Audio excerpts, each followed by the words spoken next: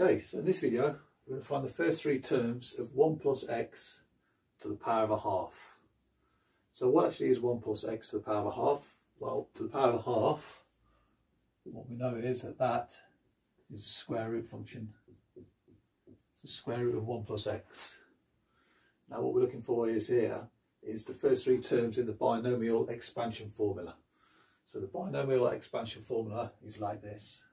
1 plus x to the power of n, 1 plus n times x. And now it has a sequence of terms. So it's n, n minus 1, x squared over 2 factorial. You could technically write a 1 factorial here, which I'll just do, just so you can see the pattern. Next term, n, n minus 1, n minus 2, x cubed, and over 3 factorial. And this just keeps going on and on and on and on. So you can see the 3 and 3 here. They are, uh, for each term, they are linked. Obviously, they're the same uh, numbers. Then n, n minus 1 and n minus 2, that keeps going all the way up. And so if you add up to x to the 6, you go all the way n, n minus 1, n minus 2, n minus 3, all the way up to n minus 5. Okay, so back to the question, 1 plus x to the power of a half. N in this instance is a half. You can clearly see we've got the half here. And also the question is in this form as well, 1 plus x or 1 plus x. So now we're clear to go straight in and just plug in the values. 1 plus n is a half. So whenever we see an n, we put, put in a half and then the x stays. 1 factorial we can just leave. n times n minus 1. So that's plus 1 half. And then a half minus 1 x squared over 2.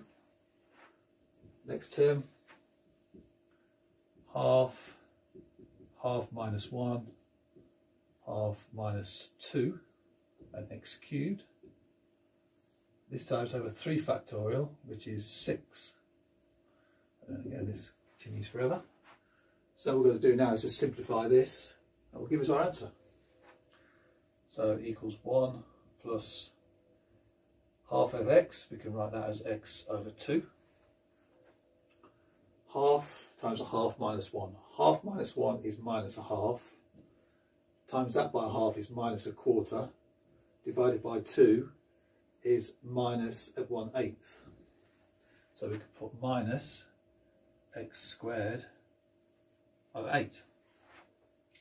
Okay, next term. So plus half times a half minus 1. We've already done that here. That's going to be uh, minus 1 quarter. And then minus 3 over 2. So we've got minus 1 quarter times half minus 2 minus 3 over 2. So if we multiply that out now, we'll get plus 3 over 8. And then divide that by 6, we'll get 3 over 24. So 3 over 48.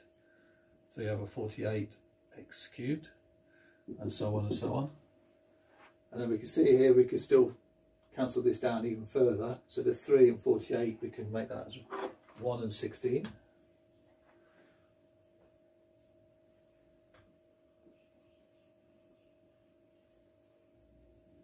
Okay, so that is our first three terms of 1 plus x to the power of a half.